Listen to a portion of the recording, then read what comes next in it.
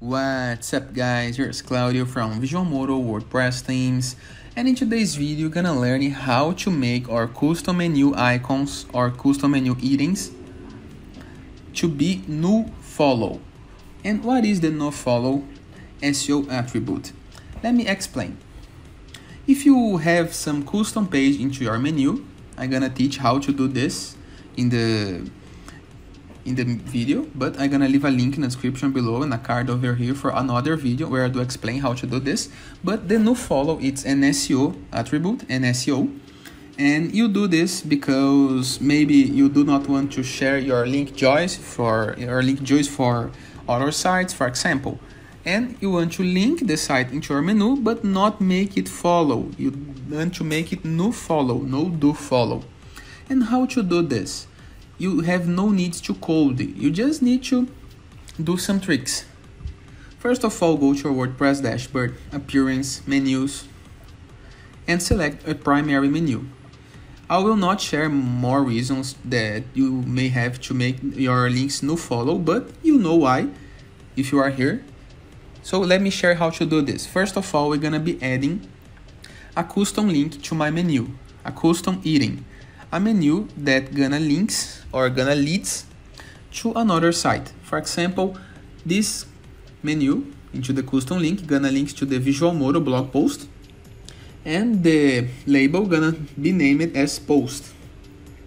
The item is now added to my navigation menu. So if I refresh the page, let me do once again to clear the cache.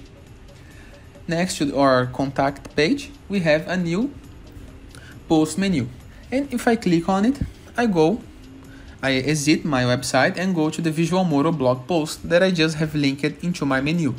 And if I click with the right button of my mouse over the menu item you can see the link is do follow because there's no attribute. If there's no attribute to the link it is do follow. So this website is sending link joys link juice to the Visual Visualmodo site. And how to change this navigate to the top of your menus editor and click right here into the top right corner, the screen option, and into show advanced menu properties, click on link target and on link relationship. These are the most important parts, link target and link relationship. We're gonna make this link no follow and open in a new window. So we're not gonna need to exit our site to open this new link.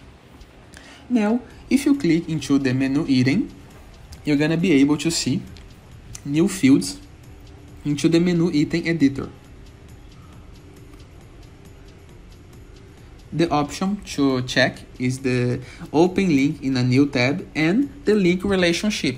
Here is the place that you're gonna type no follow. And simple as that.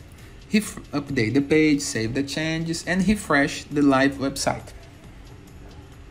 Now, if you click into the post, instead of leaving the site and going directly to the post, the post gonna be opening into a new browser window. And if you go to the inspect, you can see there is now a hell, a rel do rel no follow into the codes. So the link is now set to be no follow. So search engines will not follow this link this will have no more much SEO power.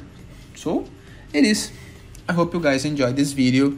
Don't forget to check out the description below or the first comment on this video that is providing links to amazing hosting services with a cheap price and hosting for performance and a link to creative market that if you follow you can download six new free goods free goods of the week every single week.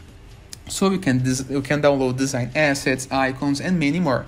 And don't forget to subscribe to the channel, like the video, share it on the social media or on with your friends. And talking about social media, you can follow Visual Visualmodo on Instagram.